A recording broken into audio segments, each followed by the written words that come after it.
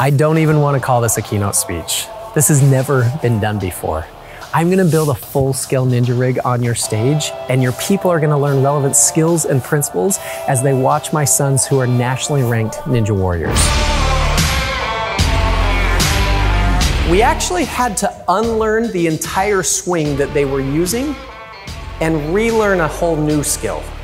Sometimes what got you here won't get you there.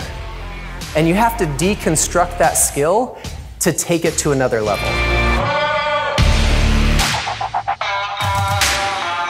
We are facing the most rapid period of change that has ever happened in human history. And so adaptability in today's world is not important, it is imperative. During Ty's presentation, no one is going to be looking at their phones. It really is that engaging.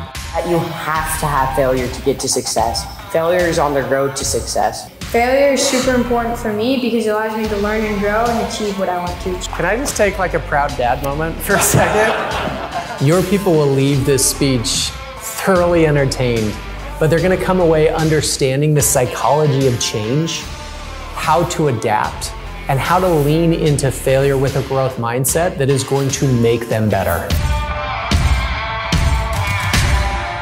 Because that's what mastery is, isn't it? Mastery is leaning in.